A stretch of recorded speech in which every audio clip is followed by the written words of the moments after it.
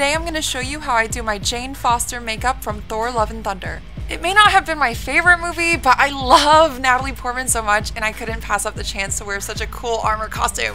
I already started by applying an even coat of foundation to my face and now I am contouring my cheekbones, forehead, eye sockets, nose, and jawline. Then I take my concealer and apply it in triangles under my eyes.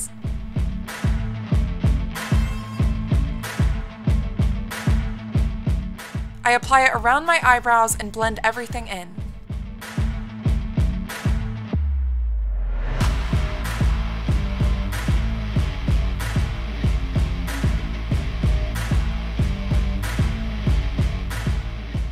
I also apply it along my jawline and I blend that in as well.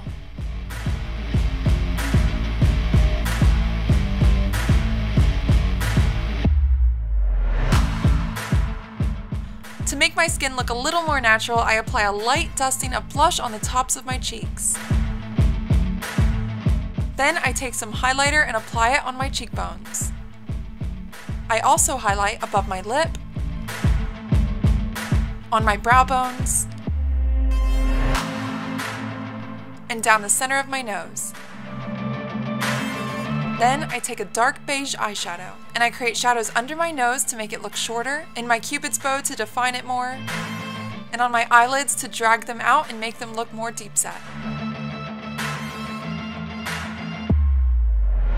Now it's time for the lips. I wipe them off, then I apply a matte liquid lipstick. I love this stuff so much and I will add a link to it in the description.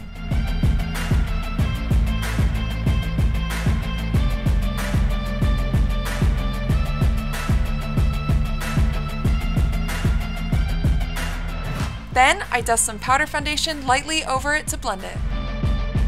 Next, I'm using this brown waterproof eyebrow liquid and applying it to the corners of my mouth.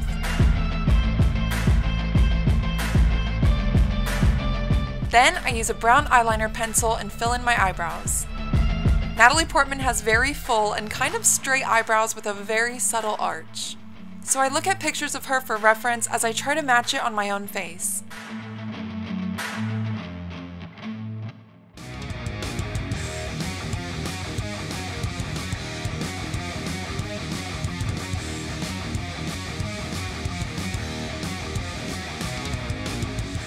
Then I take the dark brown waterproof liquid and fill in my brows.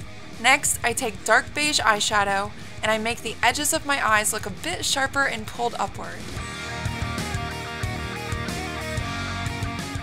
And blend that in. Then I take my brow eyeliner and draw a line under my lower lash line to my inner tear duct to make it look more cat-like.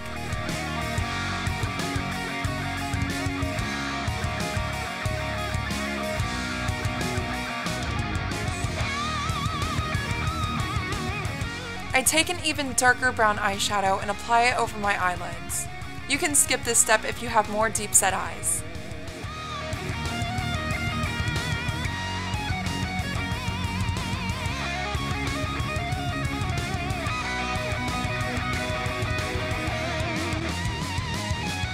Now I'm taking a black liquid eyeliner and drawing a subtle line over my eye that gets thicker and wings up at the end.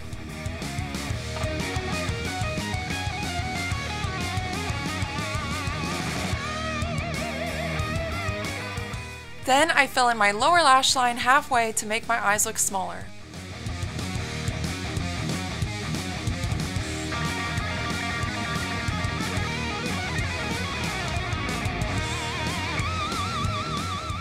I soften the line a little bit with black eyeshadow. Next, I curl my eyelashes and before I apply my mascara, I put in my colored contact lenses. Natalie Portman has light brown eyes, so I got a natural light brown contact lens and they look so good.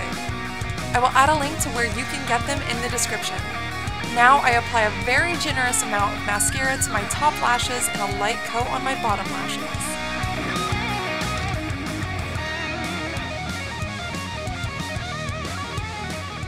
Then, to make my eyes look even pointier, I apply a half lash to the outer ends of my lashes. She's looking sharp.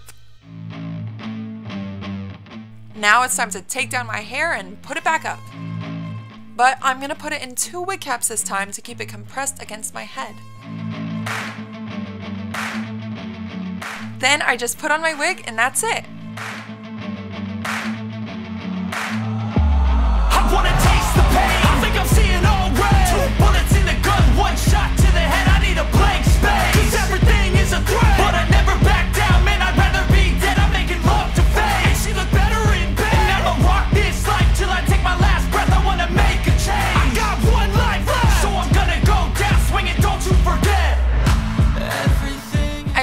I hope you guys enjoyed this tutorial for Natalie Portman slash Jane Foster from Thor Love and Thunder. I will definitely be making a tutorial showing how I made all the armor. I will also be posting my patterns so you can download them on my website to help make the armor yourself.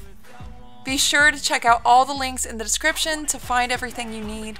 I have tons of other cosplay tutorials on my channel that you can check out. And as always, thank you so much for watching my video. Bye!